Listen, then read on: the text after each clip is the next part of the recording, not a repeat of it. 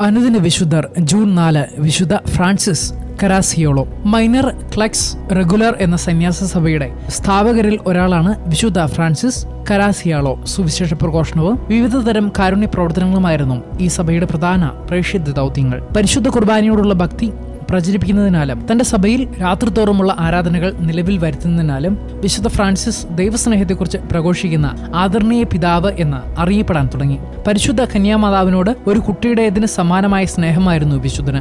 തന്റെ അയൽക്കാരനെ ഏതെങ്കിലും വിധത്തിൽ സേവിക്കുവാൻ കഴിയുക എന്നതായിരുന്നു വിശുദ്ധന് ഏറ്റവും സന്തോഷം ഉളവാക്കുന്ന കാര്യം.